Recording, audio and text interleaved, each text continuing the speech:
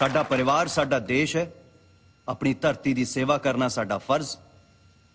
तो Indian air force join करना उस दिशा च पहला कदम है। पिछले पाँच साल पहली बारी किसी एक इंस्टीट्यूट तो इन्ने सारे एप्लीकेशन गए ने एयरफोर्स लिये